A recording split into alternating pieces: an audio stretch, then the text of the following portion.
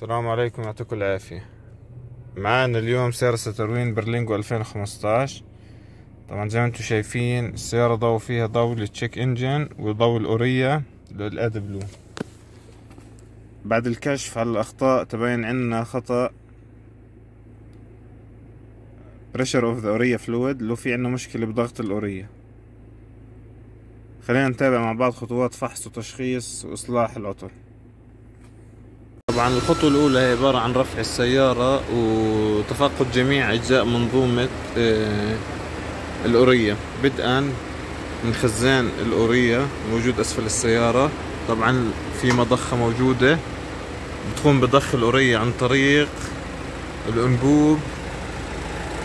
إلى النقطة الأخيرة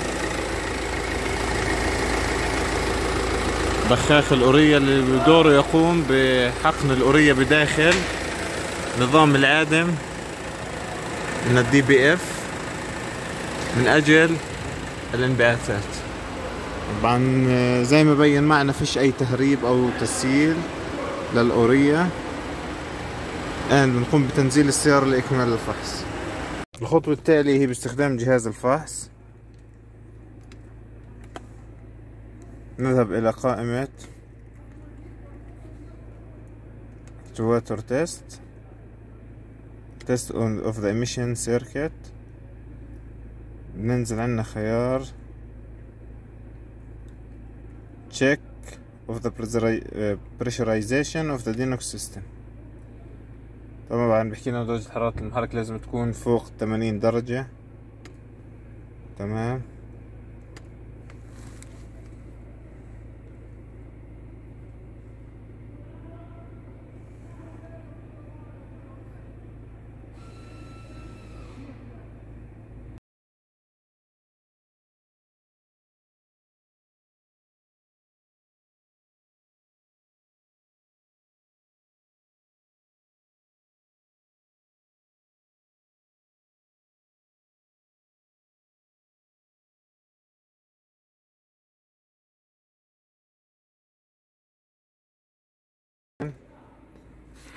لو بنرجع لل parameter.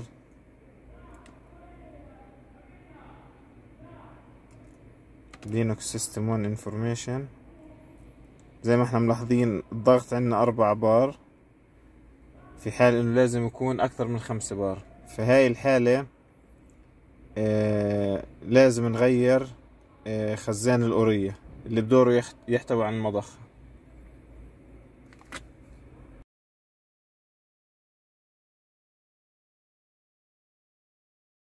طبعا وهيك آه، خزان الأورية الجديد صار راكب.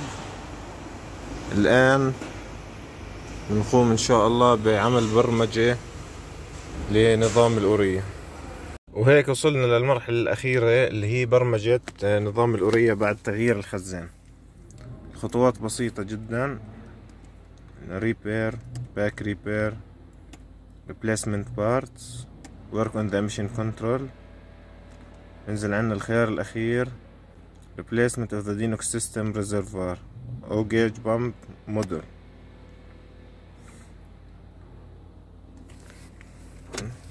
switch off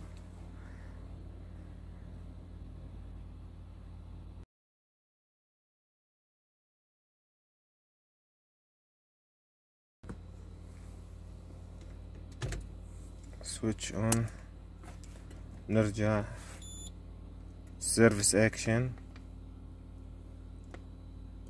draining filling bleeding filling of the urea reservoir تمام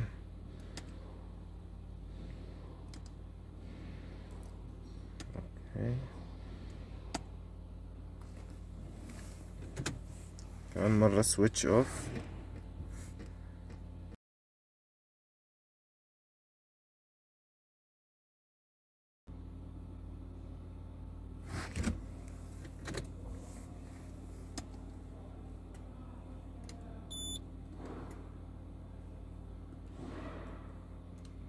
فول تريدينج نعمل clear لل fault code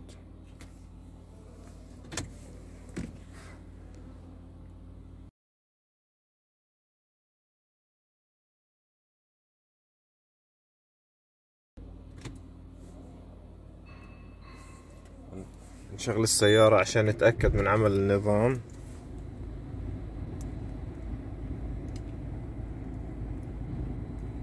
Активатор тест.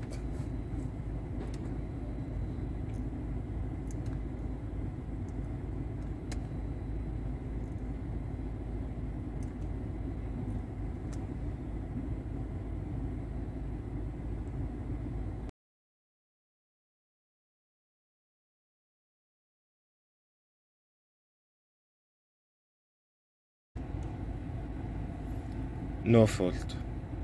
عشان نتأكد برضو.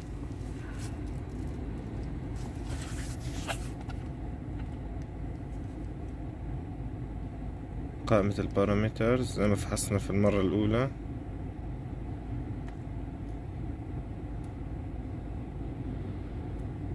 واضح عندنا الضغط ستة بار. آه هذا بيدل على إنه الضغط جيد والمنظومة تقوم بالعمل بالشكل المطلوب. إن شاء الله تكونوا استفدتوا من هالفيديو ويعطيكم ألف عافية. مع تحيات المهندس باسل.